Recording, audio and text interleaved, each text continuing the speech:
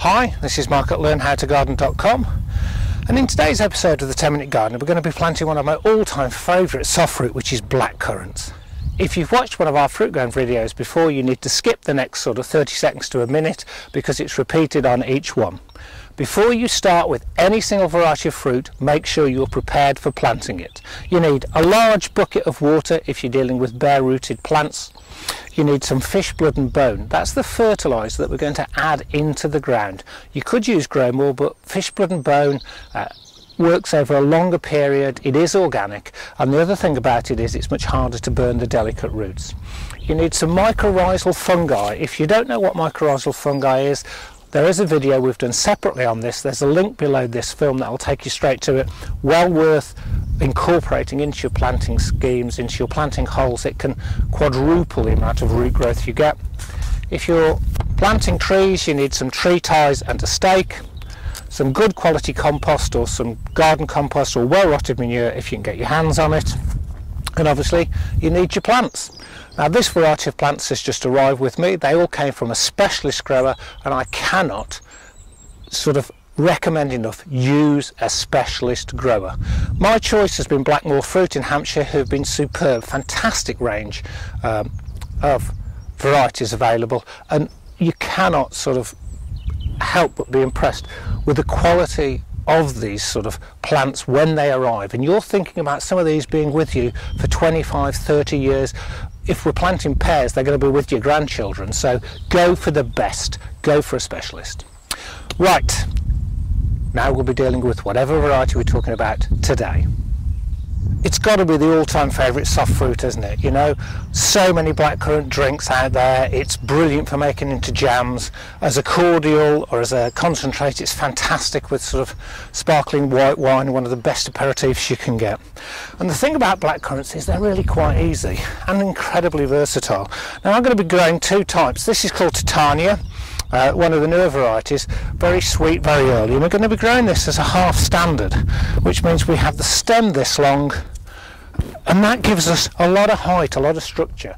And it also means that you can incorporate this into all sorts of plans, or planting schemes, I should say, rather than plans. This is bare rooted, and as I said before, with every single bare rooted plant, do not leave it out in the elements, do not let the air get to it.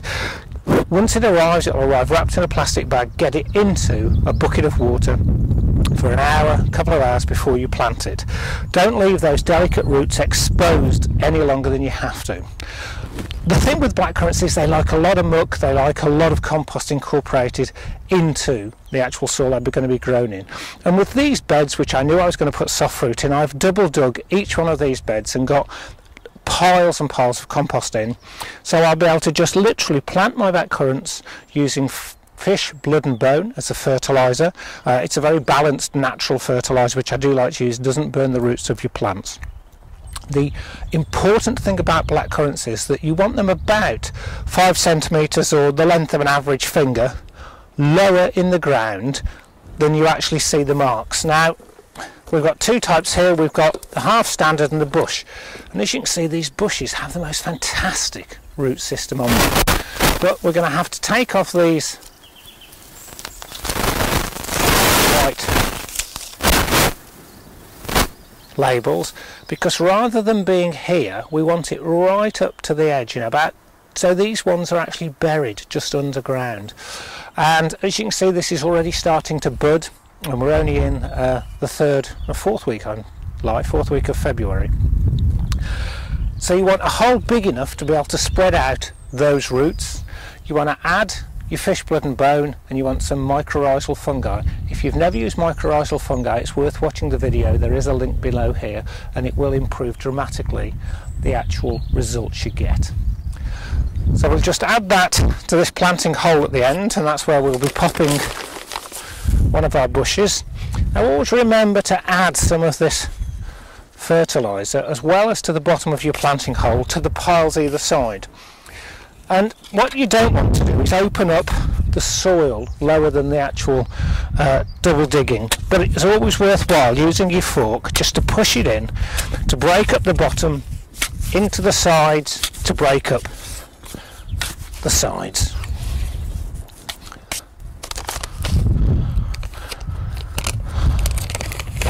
Mycorrhizal fungi is naturally occurring, so it's not as though I'm asking you to put any Dr. Frankenstein stuff in your garden.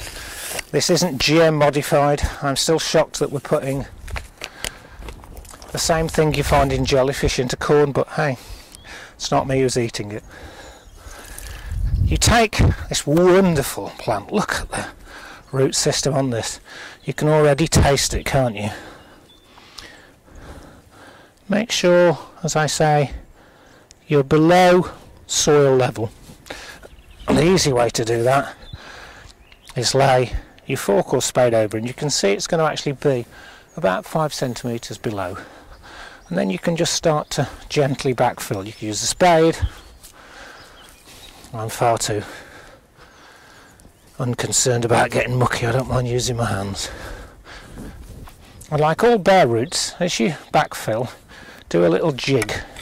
And the jig, as you're backfilling, is to get soil between all those roots, it's to get the fungi into contact with all those roots you don't want air spaces in there and we just literally backfill this and then we'll very gently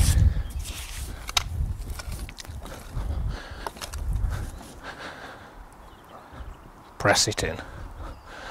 Once you've pressed it in, water with at least two gallons from a watering can, no matter if you're planting in torrential rain water with two gallons from a watering can. And then we're going to top dress with some more well rotted organic manure or compost and that'll be it. I'll get the other two in and I'll show you what it looks like finished. We've got our three black currants in, two bushes and as I said, the half standard. With a half standard, you will have to stake it, which means putting something in to support it. The thing with staking half standards, you want the stake, the side that the prevailing wind's coming from, which is over here for me. You take your tree tie round, back through the little separator, and then that's going to go round your stake.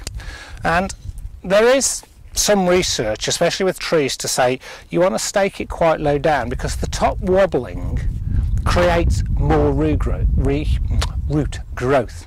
So the top moving around naturally in a tree, that whipping action of the top of a young tree makes the roots go out further and stabilise it. So the old method of staking trees very, very high is actually sort of uh, probably not the right way to go. And we just tighten that off water them all in. As I say, this is Titania. The other two currants we're growing are a new variety called Big Ben. It's supposed to be twice as large as an average black currant and give you twice the yield, but still with all the taste. So I've eaten it, I've seen it growing, but I've never grown it myself, so that'll be an experiment uh, for this year. So that's black currants. If I've got to grow a currant, probably this would be it because everybody will like it. Thanks a lot for watching.